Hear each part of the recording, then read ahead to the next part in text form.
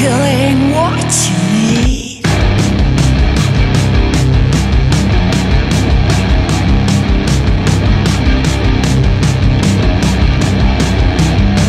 Let's start uh, from the very beginning. Uh, what a crazy time to uh, start a band.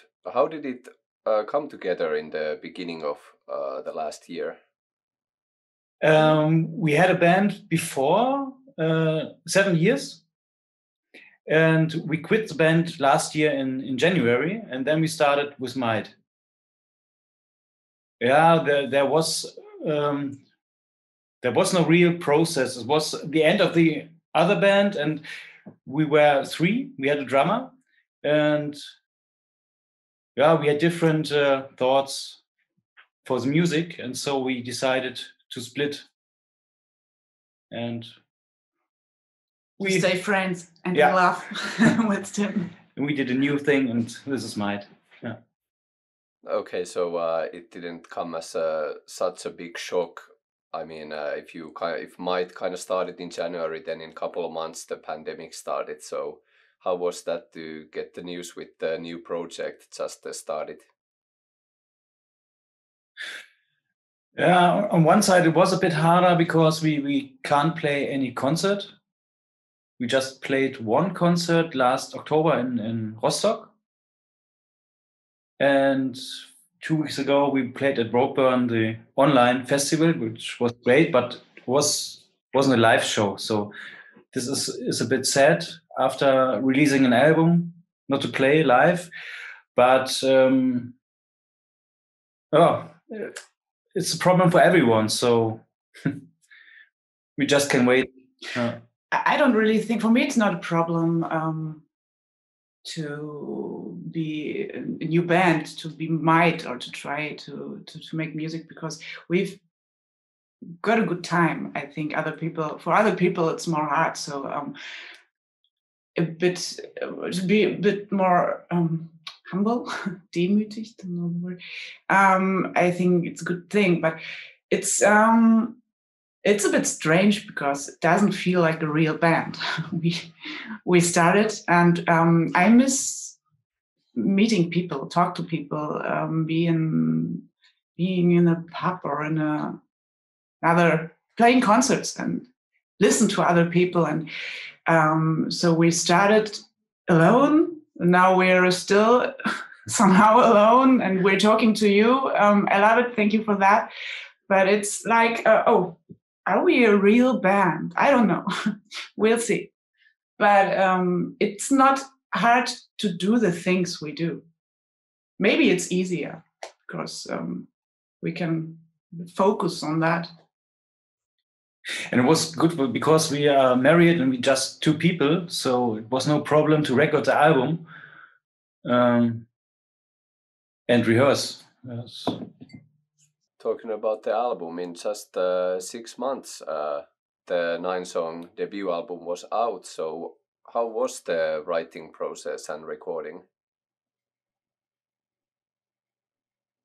I think we we we, have um, different kind of workflow. For me, it's um, the writing process means for me um, first place to write the lyrics and to to have a um, to to create the atmosphere um, in my head and with a bass and then write lyrics. And um, I, I worked for a few years uh, uh, in an NGO and um, uh, did all this stuff with hum- human rights and um, talked to a lot of people and had to um, somehow transform all these things in my head. And that's for me the most um, the deepest process in making music um, to translate what i see and talk to to to others. And that was my focus. And then um, yeah describe yours. Yeah, my focus is more on the musically side. So it's very easy because we live in, in one house and uh, we record demos and gave it to another. And uh, it's more easy than in, in a real band. Uh, it is a real band, but you know what I mean. With uh, people from outside. Yeah. Yeah, that's uh, really interesting. Uh, well, continuing on that, uh, if you would uh, pick one song from the album and kind of tell the story of that one, what would it be?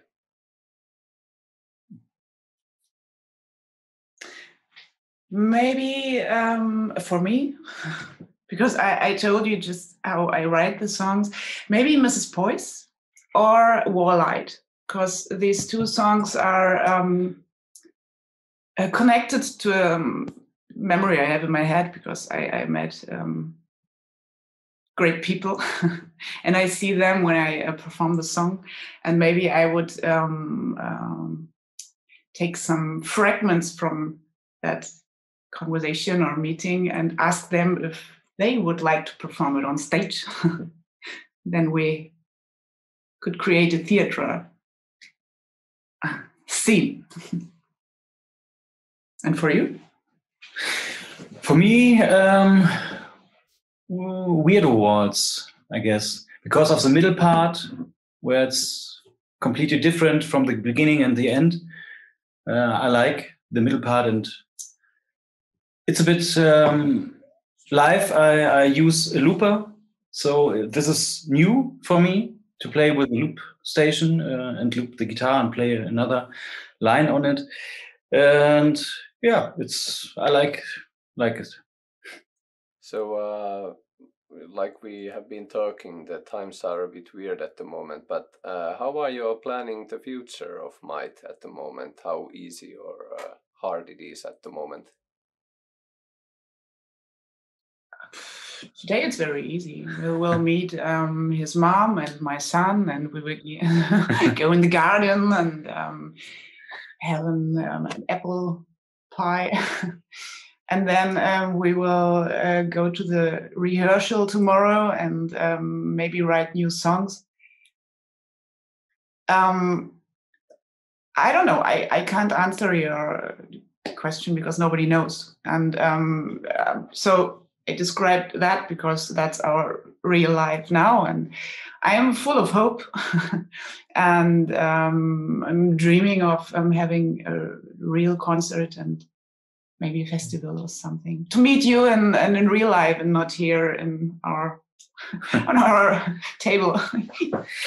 but uh, we are also working on new songs and have the next show in September, I guess, planned in September in Hanover with Core together and from Friedemann. And yeah, let's see. Yeah, like you said, you are already working on new songs, and uh, well, the debut album uh, came out in just uh, six months. So, yeah, uh, is it like uh, unthinkable to release a second album in these circumstances that uh, concerts are not possible? Definitely not. it's not unthinkable. Um, I don't know. We're just think, uh, asking ourselves the same question, um, and it depends on how much how the the output will be, and depends on other things yeah. um, we're surrounded by. We can't. Um, yes. No. If the songs are finished and the record is finished, then we won't wait to release it, even it's the same situation because I don't think it's such a good idea to wait with an album because um, when you release it and it's half a year or a year old, mm, don't feel so good. Yes, but on the other side, I think also the same. But um, on the other side, we're not um, forced to to make an album. We we do other things. Uh, we, we we don't depend on that production, and so we're very free to decide when we think it's okay to present some new things. It's of course uh, difficult to analyze things as they are happening, but do you think like uh, this time will change uh, the music scene, uh, for example, in Germany? I think um, some of the small clubs will close on one side, uh, which is very sad. But I think after after the pandemic, um, there will be very much new small clubs and garages or whatever. So at the end, I don't think there's such a difference later than it was. I think it will change some things. I don't know. It, it will change really the, the way um, pubs work and all this um, formal stuff.